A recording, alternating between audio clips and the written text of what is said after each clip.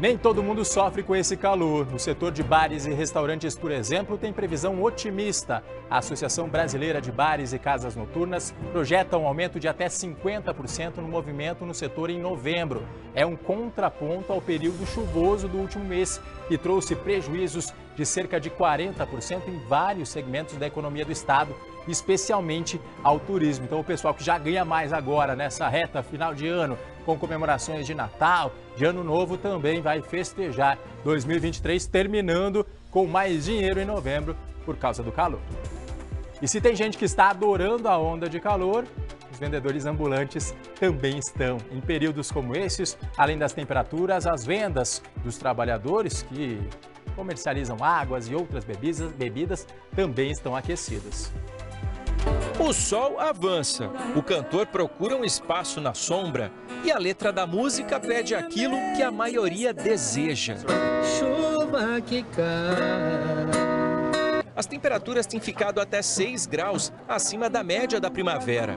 Vânia chegou à cidade há poucos dias. É do Maranhão. Está acostumada com calor, mas se surpreendeu. Tem realmente o sol, existe o calor, mas lá é muito ventilado. Calor também é estímulo para as vendas. Olha a fila na barraca de caldo de cana.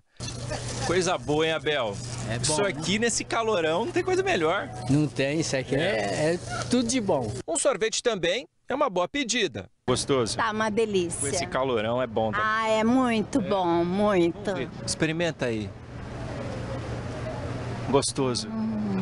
Refrescante. Uma delícia. Segundo o levantamento feito por um instituto de pesquisa, as vendas de bebidas e alimentos refrescantes aumentam quase 90% em dias de calor. Seguem a mesma tendência as vendas de ventiladores, ar-condicionados e protetores solar. Graciele levou para casa um ventilador novinho. O ventilador vai, vai ficar onde em casa? No quarto. No quarto. No quarto. Já tem um na sala, vai ficar um no quarto. Quer dizer que essa noite vai ser mais fácil para dormir, você espera? Vai. Espero que sim, né? Para quem não tem uma piscina para chamar de sua, vale apreciar a fonte da praça e sentir a brisa no rosto. Mas aproveite os últimos minutos de calor, tempo abafado tanto assim, Eric